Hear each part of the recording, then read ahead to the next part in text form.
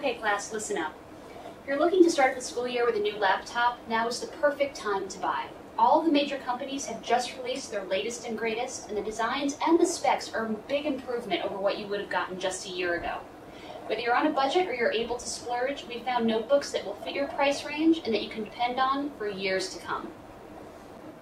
Netbooks are a great idea for students for a few reasons. One, they're pretty inexpensive. Most of them cost less than $400. And they also weigh less than three pounds, so they're light enough that you can pack inside your backpack and not weigh down your shoulders all day long.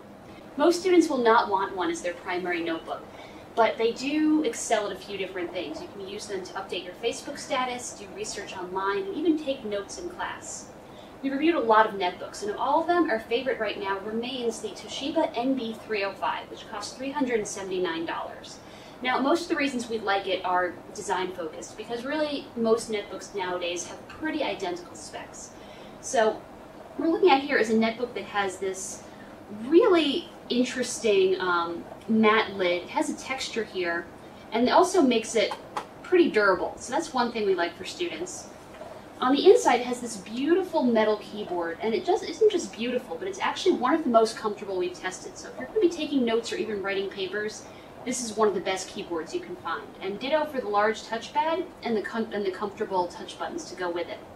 And you can even plug in a gadget into one of the USB ports and let it charge while the netbook is sleeping. Finally, this netbook has a 3D accelerometer, so if you drop it, it'll park the hard drive before it hits the ground, so it'll protect your, the drive and your data that goes along with it. It used to be that we defined a budget notebook as anything that costs under $1,000, but nowadays that's changed. Nowadays, a budget notebook is anything that costs $600 or less. Because really, for $600, you can find as powerful a notebook as you'll need in your student life.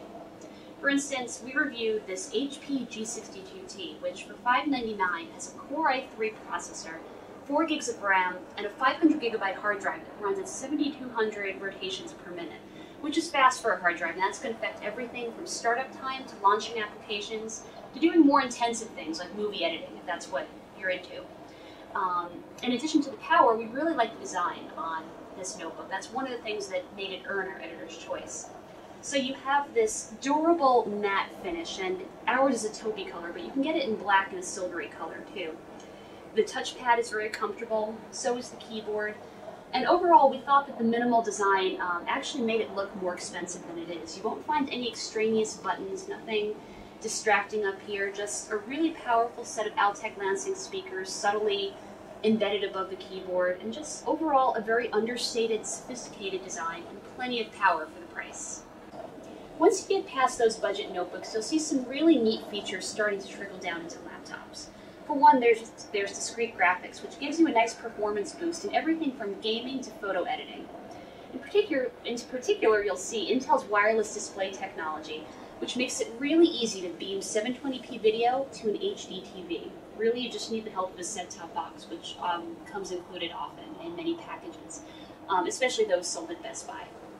So, the Inspiron 14R, which we have here, is our top pick for this price category of um, under $800.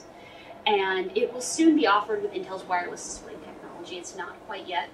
But in the meantime, we really like its design and its performance. You'll see it has this brushed metal palm rest here. Um, comes in bright colors. The um, hinge sort of extends out and gives it more of a stylistic um, edge, but it also makes it easy to carry because the hinge juts out the keyboard is comfortable, and in terms of power, you'll find that it has discrete ATI graphics, a Core i3 processor, 4 gigs of RAM, and a large 500 gigabyte hard drive. Once you get past the $800 mark in shopping for notebooks, you'll start seeing some really premium features offered. For instance, some will have NVIDIA's Optimus technology, which automatically switches between a discrete graphics card and an integrated one, depending on the intensity of whatever graphical task you're doing, whether it's games or something lighter and that will affect battery life versus performance. Our favorite notebook at this price range is the HP DV5T, which is a Core i3 processor, 4 gigs of RAM, and a 500 gigabyte hard drive running at 7200 RPM. And it also has a Blu-ray drive packed in there, so you can watch HD movies on the 14.5 inch display.